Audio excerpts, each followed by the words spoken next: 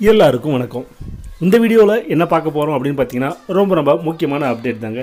அதுவும் மா ஸ்கூலில் படிக்க மாணவர்களுக்கான ரொம்ப ரொம்ப முக்கியமான அப்டேட் இது என்ன அப்படின்னு பார்த்தீங்கன்னா மாணவர்கள் பள்ளிக்கு வர வேணாம் அப்படின்னு சொல்லியிருக்காங்க.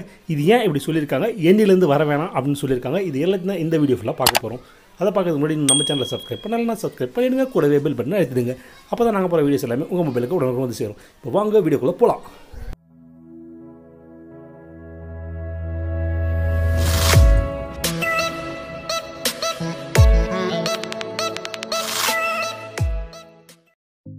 தமிழ்நாடு மட்டும் இல்லாமல் டெல்லி மகாராஷ்டிரா உள்ளிட்ட பெரும்பாலான மாநிலங்களில் பார்த்தீங்கன்னா கொரோனா வைரஸ் தொற்றின் மூன்றாவது அலையின் தாக்கம் குறைந்து வர்றதுனால பள்ளிகளும் கல்லூரிகளையும் மாணவர்களின் நலன் கருதி கொரோனா தடுப்பு நடவடிக்கைகளை பின்பற்றி தான் பள்ளிகளையும் கல்லூரிகளையும் திறக்கப்பட்டு மாணவர்களுக்கான கிளாஸஸ் நடந்துட்டு இருந்தது.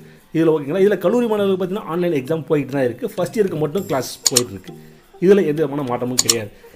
இந்த நிலையில் பள்ளிகளை மீண்டும் திறப்பதற்கான வழிகாட்டு நெறிமுறைகளை மத்திய கல்வித்துறை இணை செயலாளர் ஒரு சுற்றறிக்கையை எல்லா பள்ளிகளுக்கும் அனுப்பியிருக்காரு. அதில் என்ன சொல்லியிருக்காரு அப்படின்னு பார்த்தீங்கன்னா ஆசிரியர்கள் மற்றும் ஊழியர்களுக்கும் கொரோனா தடுப்பூசி செலுத்தி இருக்கணும் அதுவும் கட்டாயம் ரெண்டு டோஸுமே போட்டுக்கணும் அப்படின்றத சொல்லியிருக்காங்க.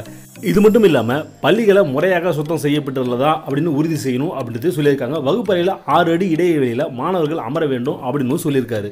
இந்த மாதிரியான விஷயத்தில் நேரடி வகுப்புகளில் கலந்து கொள்ள பெற்றோரின் ஒப்புதல் பெற வேண்டுமா அப்படின்றத மாநில அரசுகளை முடிவெடுத்துக்கலாம் அப்படின்றதையும் சொல்லியிருக்காரு. ஓகேங்களா? ஆன்லைன் வகுப்புகளில் இருந்து நேரடி வகுப்புகளுக்கு மாறுவதால் மாணவர்களின் சிரமத்தை போக்க இணைப்பு வகுப்புகள் நடத்தி கொள்ளலாம் அப்படின்ற அந்த விஷயங்கள்லாம் வழிகாட்டுதலில் சொல்லியிருக்காரு.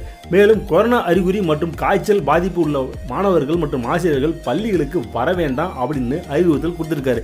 இதுலேருந்து என்ன தெரியுது அப்படின்னு பார்த்தீங்கன்னா உடம்பு சரியில்லை அப்படின்னாலும் காய்ச்சலோ இல்லை சளி எது இருமல் எது இருந்தாலும் பள்ளிகளுக்கோ ஆசிரியர்களும் மாணவர்களும் வர வேண்டாம் அப்படின்றத தெளிவாகவே சொல்லியிருக்காங்க அப்படின்றத தான் நாங்களும் சொல்லியிருக்கோம். ஓகேங்களா? இந்த வீடியோ பற்றி உங்களுக்கு வேறு ஏதாவது டவுட் இருந்தால் அதை எங்களுடைய கமெண்ட் செக்ஷனில் போஸ்ட் பண்ணுங்கள் தேங்க்யூ